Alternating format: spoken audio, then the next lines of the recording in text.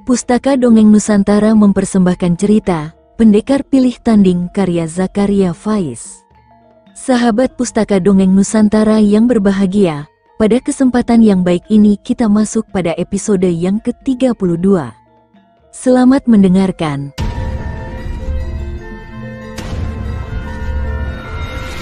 Penembahan Lawu kemudian memadamkan api obornya.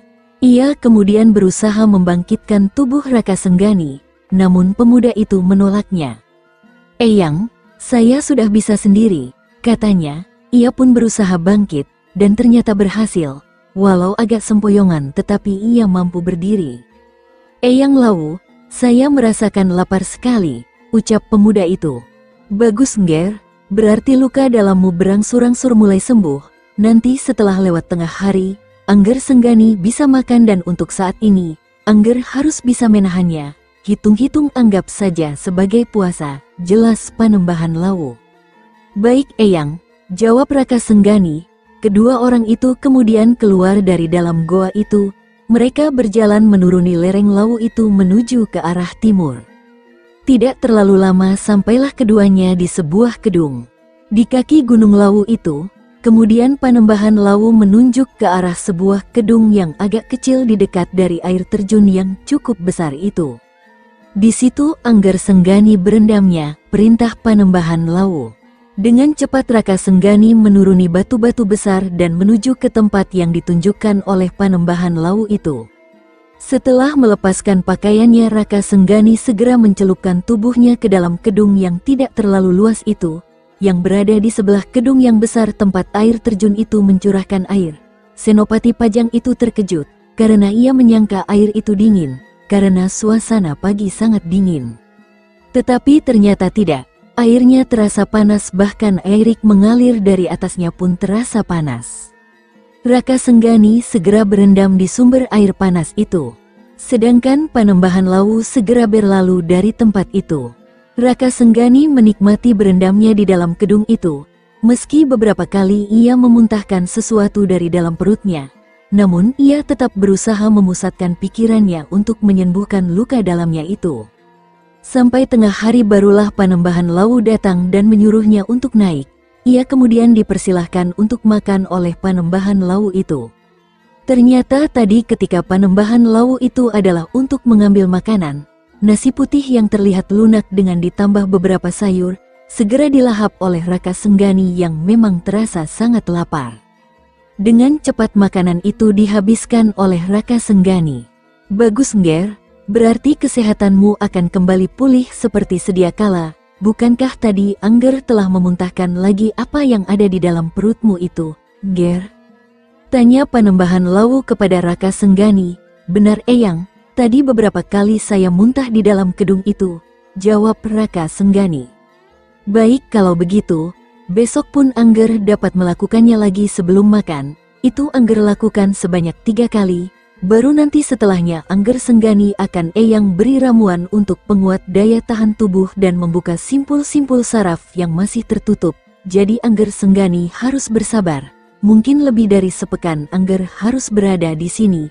Jelas Panembahan Lawu. Baik Eyang Lawu, semua perintah Eyang akan Senggani lakukan, jawab Raka Senggani. Hari berganti Harel sudah tiga hari Raka Senggani berada di lereng Lawu sebelah timur itu, kesehatannya telah pulih seperti sedia kala. Dan selama itu pula lah Panembahan Lawu datang dan memberikan pengarahan serta ramuan. Bagaimana Nger? Apa yang Angger Senggani rasakan? Tanya Panembahan Lawu kepada pemuda itu. Sudah sangat sehat Eyang, bahkan tenaga dalamku pun sepertinya makin meningkat, jawab Raka Senggani. Untuk itulah, nanti malam Angger Senggani akan Eyang buka seluruh simpul-simpul saraf yang ada pada dirimu itu, Ger, kata Panembahan Lawu. Jadi nanti malam, Angger Senggani persiapkan seluruh kemampuanmu untuk menerima pembukaan simpul-simpul saraf yang akan berguna pengungkapan dari ilmu Angger Senggani yang sudah sangat tinggi itu. Jadi nanti malam Angger Senggani akan menjadi yang lain dari sebelumnya, karena Angger Senggani tidak akan mudah lagi dikalahkan oleh siapa pun termasuk Resi Brangah ataupun Empu Loh Brangsang itu, Angger Senggani akan jadi seorang pendekar yang pilih tanding, ungkap Panembahan Lawu. Sebelum dan sesudahnya, saya mengucapkan banyak terima kasih atas bantuan dan pertolongan dari Eyang Lau ini, kata Raka Senggani. Ia sampai menciumi tangan dari panembahan Lau itu. Sudahlah Nger, hanya satu minta Eyang, janganlah jadi seorang yang jumawa apalagi sampai congkak karena memiliki banyak kelebihan dan pergunakan kelebihan itu untuk menolong orang yang membutuhkan pertolongan. Jangan terlalu cepat menjatuhkan tangan kepada sesuatu yang masih kecil masalahnya dan upayakan untuk tidak menyimpan dendam, karena terkadang orang bisa terjerumus ke dalam jurang karena dendamnya. Nasihat Panembahan Lau lagi. Iya Eyang, semua yang Eyang katakan itu akan saya patuhi, dan mudah-mudahan saya mampu melakukannya, jawab Raka Senggani. Bagus, nanti malam kita kembali lagi ke dalam goa yang ada di atas itu, kata Panembahan Lau.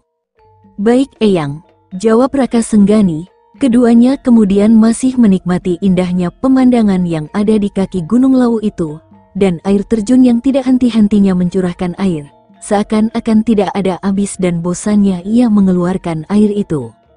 Sementara itu di daerah puncak Merapi terlihat kesibukan yang telah terjadi di sana.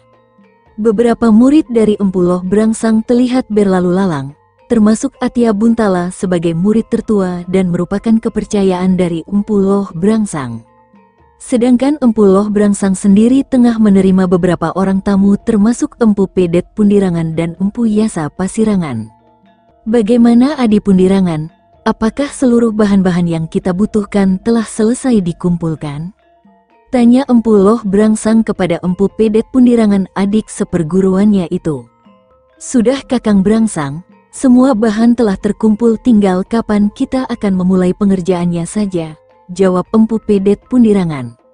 Waktunya adalah tepat saat purnama nanti kira-kira sepekan lagi. Dan bagaimana denganmu Adi Yasa? Apakah dirimu sudah cukup sehat dan dapat untuk ikut dalam membuat keris Kiai Condong Campur Putrani itu? Tanya Empu Yasa Pasirangan.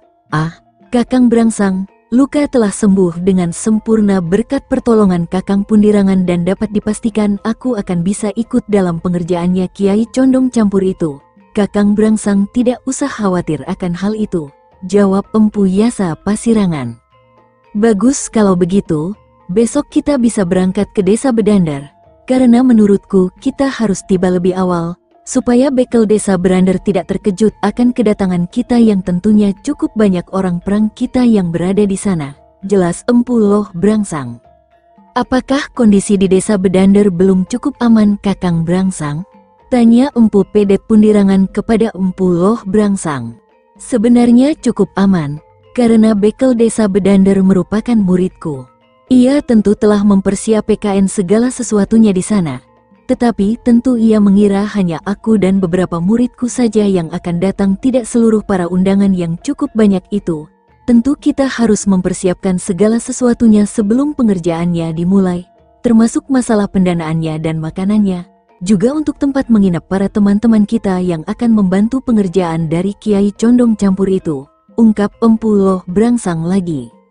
Kalau masalah pendanaannya Kakang Brangsang tentu tidak perlu khawatir. Bukankah hasil dari si topeng iblis itu cukup lumayan banyak? Benarkan Adi Yasa, kata Empu Pedet Pundirangan sambil melirik kepada Empu Yasa Pasirangan. Benar, Kakang Brangsang, kalau untuk membiayai 50 orang selama 40 hari, tentunya hasil dari si topeng iblis itu lebih dari cukup termasuk juga para murid kakang-kakang sekalian yang ikut ke sana. Itu masih mampu ditanggung hasil dari si topeng iblis. Hehehe, terdengar suara tertawa dari Empu Yasa Pasirangan menjelaskan masalah pendanaan dari pengerjaan Kiai Condong Campur itu. Mungkin ucapanmu itu benar, Adi Yasa Pasirangan, tetapi tentunya kita masih membutuhkan persiapan yang lain sebelum segala sesuatunya dimulai. Jangan di saat kita telah melakukan pengerjaannya ada masalah yang timbul tentu akan mengganggu konsentro yang lain. Jadi dari awal kita upayakan supaya pengerjaan ini berjalan sukses, tanpa ada kendala termasuk dari kota Raja Demak, Kadipaten Madiun ataupun Kadipaten Pajang. Meski di daerah Matahun itu, beberapa pejabatnya sudah bisa diajak untuk kerjasama jelas Empu Loh Brangsang lagi. Jadi maksud Kakang Brangsang, kita harus membayar beberapa orang untuk menjaga kita saat mengerjakan Kiai Condong Campur itu. Tanya Empu Yasa Pasirangan kepada kakak seperguruannya itu. Yah, kita memang harus membayar sebagian orang untuk menjaga kita, selain ditambah dari beberapa murid kita yang akan menjaga di sekitar sumber api abadi yang ada di bedandar itu, kata Empu Loh berangsang lagi. Apakah tidak cukup untuk membayar orang? dari yang didapat si topeng iblis itu? Tanya Empu Loh berangsang kepada adik seperguruannya itu. Cukup, cukup, tentu masih cukup, karena harta yang didapat si topeng iblis itu sangat banyak, jawab Empu Yasa Pasirangan. Bagus kalau begitu, jadi kita bisa lebih cepat untuk tiba di desa Bedandar, dan memerintahkan kepada bekel di sana untuk mempersiapkan bahan pangan untuk lebih dari 100 orang selama 40 hari kata Empu Loh Brangsang. Ada satu pertanyaan lagi Kakang Brangsang, apakah para empu yang akan membantu kita sudah dihubungi semua dan apakah mereka telah setuju semuanya untuk membantu kita? Tanya Empu Pedet Pundirangan kepada Empu Loh Brangsang. Sudah adi Pundirangan, hanya Panembahan Lawu yang tidak jadi dihubungi, karena beliau itu sulit untuk ditebak jalan pikirannya, jadi aku mengurungkan niat menghubunginya jelas Empu Loh berangsang. Dan di mana kita berkumpulnya? Apakah di sini atau langsung di desa Bedandar? Tanya Empu Pedet Pundirangan lagi. Kalau yang dari arah barat sini, kita tunggu di sini, di Merapi ini tetapi kalau yang dari arah timur mereka akan langsung ke desa Bedandar, jawab Empu Loh berangsang. Oh ya Adiyasa, apakah harta yang ada padamu itu sudah kau bawa sekarang atau kau tinggal di tempat lain? Tanya Empu Loh berangsang kepada Empu Yasa Pasirangan.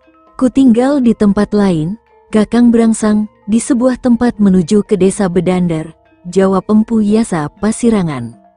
Baiklah kalau begitu, besok setelah terang tanah kita akan berangkat menuju desa Bedandar. Kau dan seluruh muridmu berjalanlah terlebih dahulu Adi Pundirangan, baru selanjutnya Adi Yasa Pasirangan dan para muridnya, Baru setelahnya aku dan para tetamu yang akan membantu kita membuat putraninya Kiai Condong Campur itu, ungkap Empu Loh berangsang. Apakah kita akan melintasi kota Raja Demak atau kita lewat dari Kadipaten Madiun? Tanya Empu Pedet Pundirangan kepada kakak seperguruannya itu. Kalau menurut kalian jalan mana yang lebih baik untuk ditempuh, apakah lewat kota Raja atau lewat Madiun? Balik Empu Loh berangsang bertanya, kalau menurut kami lebih baik lewat Madiun, karena aku pun telah menyembunyikan harta si topeng iblis itu di jalan tersebut, jelas Empu Yasa Pasirangan. Baik kita lewat dari Madiun, meski jarak tempuhnya lebih jauh, namun karena kalian telah terbiasa melewatinya tentu akan lebih cepat sampainya, karena lebih faham tempatnya, kata Empu Loh berangsang lagi. Silahkan kalian beristirahat, Buntala, Kudawira dan Rasani Mayang, antarkan paman guru kalian ini ke biliknya masing-masing, perintah Empu Loh berangsang kepada ketiga muridnya itu. Sambil bangkit berdiri, Empu Pedet Pundirangan masih menyempatkan bertanya, apakah Angger Kudawira ini yang Kakang berangsang maksudkan? Tanyanya kepada kakak seperguruannya itu, sambil menganggukkan kepalanya, ia berkata, benar Adi Pundirangan, beliaulah orangnya. Ternyata orangnya masih sangat muda, kakang berangsang, dan tampaknya memiliki tubuh dan otot yang sangat baik, ucap Empu Yasa Pasirangan sambil memandangi Kudawira, murid Empu Loh berangsang itu. Ya, Kudawira memang masih sangat muda, namun ia telah kuangkat murid sekaligus anak angkatku. Jadi kalian bisa mempercayainya kelak jika ia telah menerima kamukten itu, kata Empu Loh berangsang lagi. Akhirnya semua tamu di Gunung Merapi itu diantar menuju ke tempat biliknya masing-masing. Sementara Empu Loh berangsang dengan cepat meninggalkan tempat itu menuju ke dalam pesanggerahannya. Cukup lama ia di dalam pesanggerahannya itu, dan ketika pagi telah menyinari Gunung Merapi itu, terlihatlah iring-iringan dari kelompok Empu Pedet Pundirangan yang pertama turun dari Merapi itu dan berjalan menuju ke arah timur. Baru setelahnya diikuti oleh rombongan dari Empu Yasa Pasirangan dan para muridnya.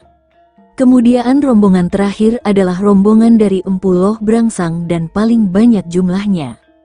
Mereka melalui jalan menuju ke desa Bedander yang mungkin harus ditempuh dengan berjalan kaki 3-4 hari menuju timur dan agak ke utara dari Gunung Merapi.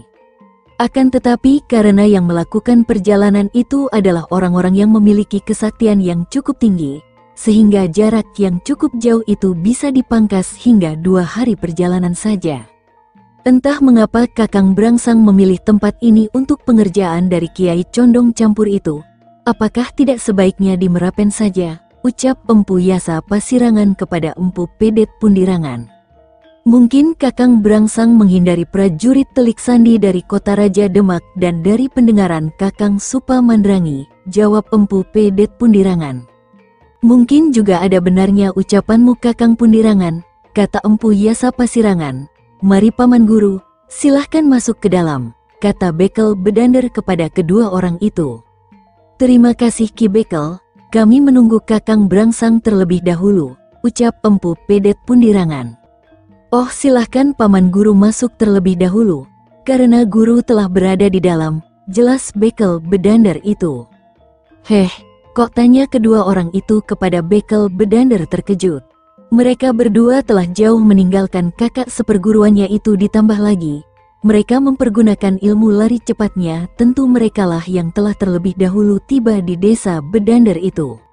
Silahkan Paman Guru masuk terlebih dahulu dan melihat siapa yang berada di dalam, ucap bekel desa Bedandar itu. Mungkin saja ia lebih dahulu tiba di sini mengingat ia memiliki ilmu yang lebih tinggi dari kita berdua. Mari kita masuk untuk memastikan ucapan Ki Bekel ini, ucap Empu Yasa Pasirangan kepada Empu Pedet Pundirangan. Benar juga ucapanmu itu Adi Yasa. Mari kita masuk, kata Empu Pedet Pundirangan. Dan keduanya pun masuk ke dalam rumah dari bekel desa Bedandar itu, dan alangkah terkejutnya kedua orang itu setelah mendapati Empu Loh berangsang kakak seperguruannya itu telah asyik menikmati makanan yang telah disediakan oleh bekel desa Bedandar itu. Mari Adi Yasa Pasirangan dan Adi Pedet Pundirangan, silahkan makan. Kalian terlalu lama berjalannya, ucap Empuloh Brangsang sambil terus menikmati makanannya. Mengapa Kakang Brangsang bisa lebih dahulu tiba di desa Bedandar ini daripada kami bukankah kami yang lebih dahulu berangkat? Tanya Empu Pedet Pundirangan heran. Sudah kukatakan kepada kalian, kalian itu berjalannya seperti siput, terlalu lambat, sehingga aku yang melewati kalian pun, kalian berdua tidak menyadarinya, jelas Empu Loh Brangsang. Kedua adik seperguruannya itu sulit untuk mempercayainya, karena mereka berdua seakan berpacu satu dengan yang lain sehingga murid-muridnya masih tertinggal di belakang. Tetapi mengapa mereka masih kalah cepat lagi dari kakak seperguruannya itu, mereka bingung memikirkannya. Kedua orang itu tidak habis pikir, sampai beberapa orang tamu undangan berdatangan di rumah bekel desa Bedandar itu. Walaupun tidak dapat jawaban dari kakak seperguruannya itu, tetapi kedua orang itu mengakui kelebihan dari kakak seperguruannya itu mereka pun segera menyantap makanan yang telah disajikan tanpa mau memikirkan yang telah terjadi itu. Selesai bersantap, rombongan Empu Loh Brangsang dan teman-temannya segera melihat sumber api abadi yang ada di desa Bedandar itu, sumber api abadi kahyangan api, sebuah sumber api yang tidak pernah padam meski hujan dan angin menerpa tempat itu, ia tetap menyala. Lokasi tempat sumber api abadi itu cukup sulit untuk dijangkau. Jauh dari rumah penduduk sangat sesuai untuk dijadikan tempat menempa sebuah pusaka yang akan menjadi sifat kandel si pemiliknya yaitu keris Kiai Condong Campur Putrani. Kakang Berangsang, apakah kita akan berada di sini terus sampai pusaka itu selesai atau kita bisa beristirahat bergantian? Tanya Empu Yasa Pasirangan kepada Empu Loh Berangsang. Karena jumlah kita cukup banyak, tentu kita akan bergantian dalam membentuk kiai condong campur itu, sehingga kita tidak akan mengalami kelelahan yang sangat, karena kita akan bergantian, jelas Empu Loh berangsang lagi. Jadi saat purnama nanti kita akan memulai pengerjaannya, dan sebelumnya kita harus mempersiapkan tempat ini untuk menjadi tempat menempa Wesi Aji yang akan menggegerkan kerajaan Demak ini. Ucap Empu Loh berangsang, Rasanya tidak sabar untuk menunggu hal itu terjadi. Tentu Demak akan terjadi kegegeran jika kita bisa menimbulkan kembali Kiai Condong Campur itu Kakang Brangsang, Seru Empu Pedet Pundirangan. Benar, tentu Demak akan menjadi geger kalau kita bisa membuat Kiai Condong Campur itu meski hanya tetiron namun diharapkan mampu melebihi kehebatan yang aslinya, ungkap Empu Loh Brangsang. Cukup lama mereka berada di tempat sumber api abadi yang terus menyala tanpa henti dan memberikan hawa panas di sekitarnya. Hari berlanjut terus, seluruh murid dari ketiga orang itu telah tiba di desa Bedander dan mulai membuat tempat untuk menempa Wesi Aji yang cukup membuat geger Majapahit kala itu dan kali ini tetironnya akan dibuat kembali di tempat itu. Para undangan dari Empuloh Brangsang pun telah hadir semua, dan mereka umumnya telah berusia lanjut namun memiliki kemampuan yang sangat tinggi terutama dalam membuat sebuah pusaka. Mereka datang dari pelosok kerajaan Demak, bahkan dari Brangwetan pun hadir di antaranya ada Resi Brangah dan temannya Resi Bancaan dari Gunung Raung. Sebelum acara itu dimulai Resi Brangah menyempatkan untuk berbicara empat mata dengan Empu Loh Brangsang. Brangsang, setelah pulang dari Merapi secara tidak sengaja aku bertemu dengan Senopati Pajang yang telah melukai muridku Macan Baleman itu, kata Resi Brangah kepada Empu Loh Brangsang. Heh, di mana kalian bertemu dan apa yang terjadi selanjutnya, Brangah? Tanya Empu Loh Brangsang, aku bertemu di kaki Gunung Lawu dan kami bertempur kemudian di sana, memang anak itu sangat tinggi ilmunya. Aku berhasil dibuatnya pingsan dan ia Resi Brangah tidak melanjutkan kata-katanya, dan Senopati Pajang itu telah tewas, sudah tidak ada lagi di muka bumi Demak ini. Begitu maksudmu, Brangah? Tanya Empuloh Brangsang, bukan itu maksudku. Tubuhnya itu tidak aku ketemukan walaupun tempatnya telah obrak-abrik. Aku meyakini ada orang yang telah menolongnya. Tetapi kalau menurutku ia telah tewas, di tanganku, jelas Resi Brangah. Empu Loh Brangsang memandangi wajah Resi Brangah dengan tatapan aneh. Brangah, kau tidak bisa menewaskan Senopati Pajang itu? Tanyanya heran. Resi Brangah terdiam atas sindiran temannya itu. Sahabat Pustaka Dongeng Nusantara demikian tadi, cerita pendekar pilih tanding karya Zakaria Faiz. Bagaimana kelanjutan kisahnya? Ikuti terus ceritanya pada episode selanjutnya. Sampai jumpa.